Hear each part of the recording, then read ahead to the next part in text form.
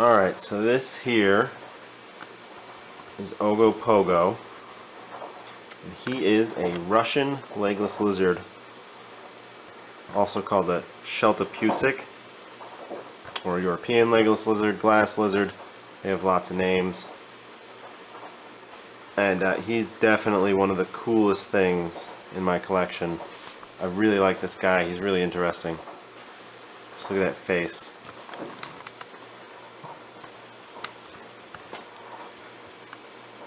Yeah, just look at that face. He looks like, he looks so prehistoric to me. And, um,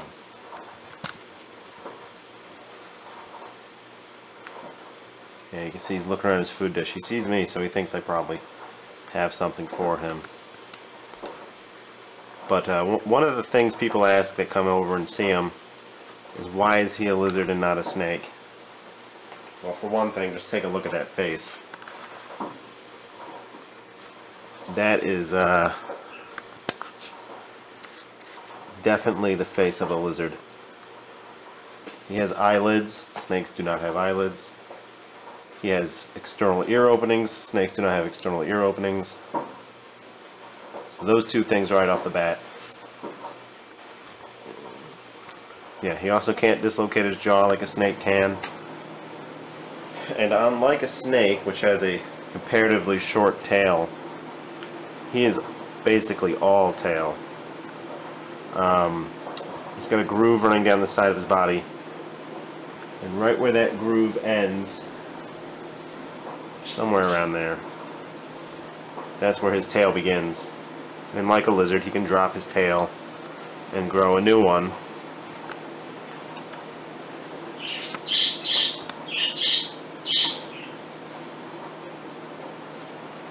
These guys, um, they're super easy to take care of. Not gonna, there's not a lot of care information out there about them, so if you want me to do a proper care video, I can do that. I've only had them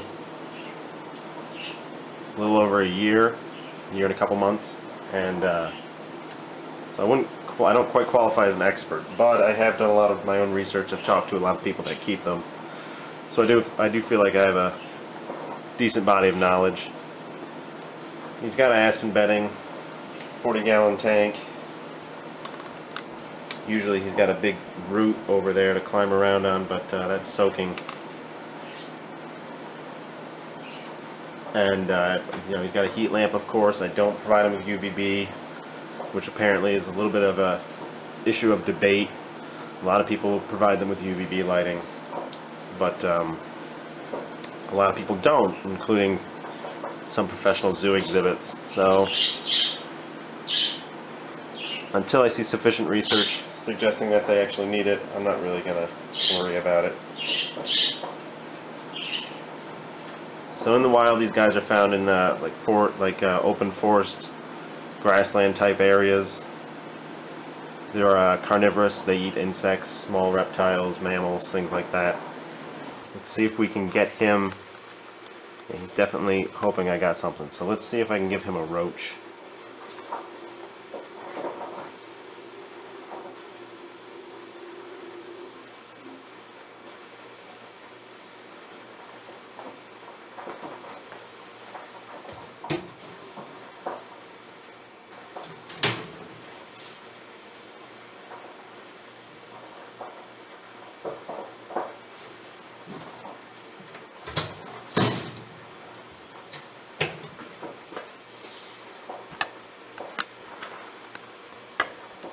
He lost it.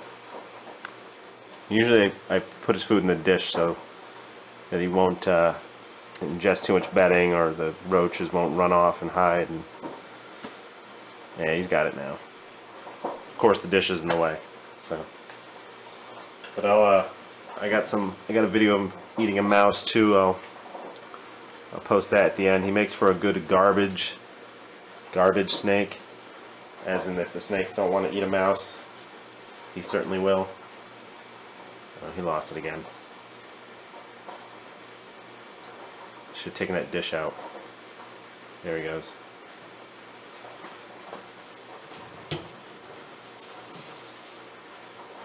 There, that's better. So as far as handling goes, he he's not a fan of it. Um, so I don't usually pick them up. I haven't been bit yet, but I hear they have a pretty strong bite. Uh, in the wild, they eat a lot of snails and things like that, so I don't really want to get bitten by them. But usually when I pick him up, what he ends up doing is, is hissing and thrashing about a little. And he'll also like do barrel rolls, which are pretty cool to see actually. Maybe I'll film him doing them one of these days. So he rolls around in your hands trying to, to get out.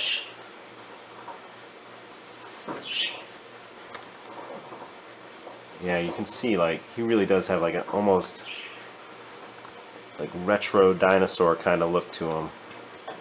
And and he gets his name Ogopogo from a popular lake monster in Canada from Lake Okanagan. He just has like that kind of like lake monster look to him, I feel. So as a, you know, I think I already mentioned it, but these guys are mostly wild caught. They're not very popular, so I don't think they're over harvested or anything like that. Uh, but there are some people working on breeding them. If I ever found another one, I would certainly like to try myself. But he's the only one I've ever seen sold. But there are people working on trying to breed them without much success. Super easy to take care of, but for whatever reason, they're not breeding well in captivity.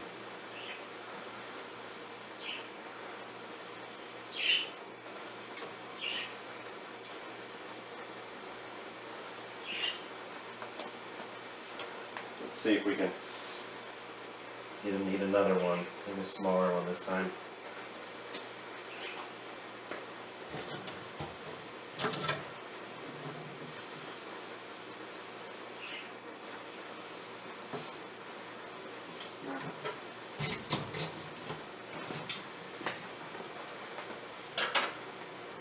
Yep, so roaches make up most of his diet.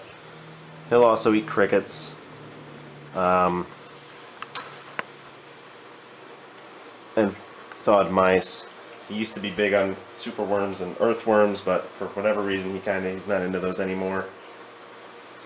Some people feed them ground turkey, snails and slugs. I don't have access to snails and slugs except from outdoors and I don't want to feed them food from outside. Occasionally I give them eggs, like gecko eggs and stuff that I don't want to hatch. Oh, look at that, now he's getting a drink.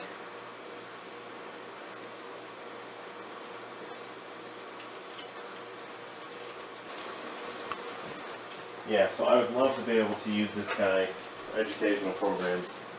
I feel like he's got a lot to offer. He's very interesting, fun to talk about, and uh, can teach a lot about evolution, the evolution of snakes, convergent evolution.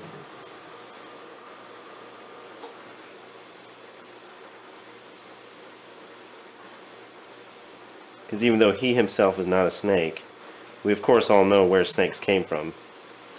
Snakes evolved from lizards back during the Mesozoic, and they've just had the opportunity to to diversify and evolve their own set of characteristics that unite them as a group, making them easier to distinguish from lizards. But no doubt earlier snakes would have been very lizard-like.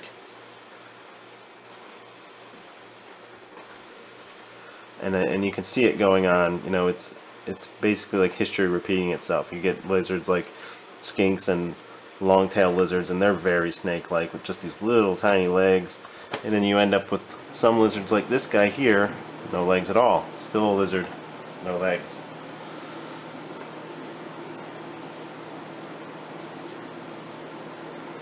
so he's a very fascinating animal fun to talk about I don't know if he'll let me hold him but we can give it a we can give it a shot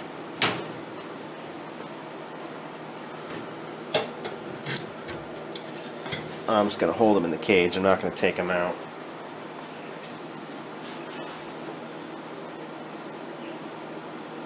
Yep.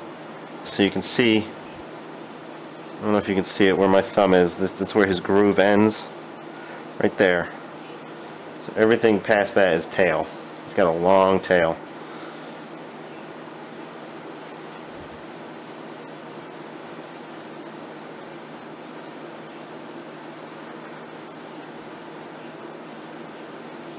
being pretty good about being held right now. It's not going to take him all the way out. He measures about 30, 32 inches. So almost 3 feet. These guys can get up to 4 feet. So we might need a bigger cage someday.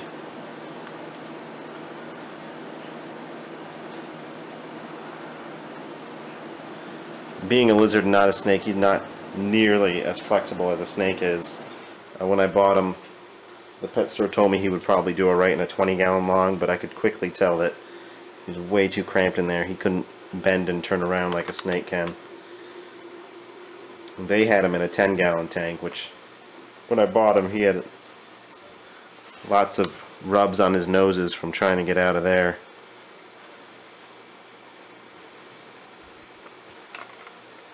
Yeah, look at him. He's a cool guy.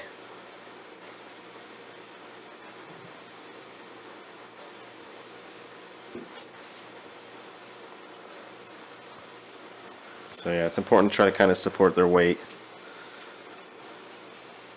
Be gentle with them.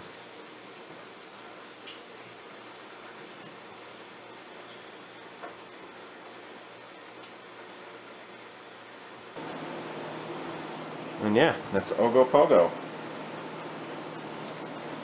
So if you have any questions about Ogopogo or his care or legless lizards in general, feel free to comment. Make sure you like and subscribe. And thanks for watching.